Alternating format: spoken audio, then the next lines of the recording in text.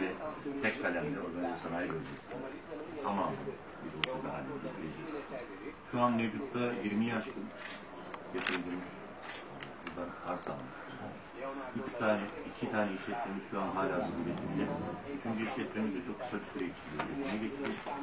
Ee, Raylı sistemler üzerine tüm ekipmanları üreten bir fabrika. Yaklaşık kadarıyla e, 2019 yılının e, kazasız belasız atlatılması yönünde çalışmalarımızı, siyasi çalışmalarımızı sürdüreceğiz. E, Evet. Dediğiniz gibi başkanım 2019'da ülkenin kaderini Evet. değiştirecek, yönlendirecek üç tane büyük seçim var. Birisi Polat'la ilgileniyor, yerel seçimler. Tabii e, siyasi partiler olarak bizler de sizler de hazırlığımızı yapıyoruz.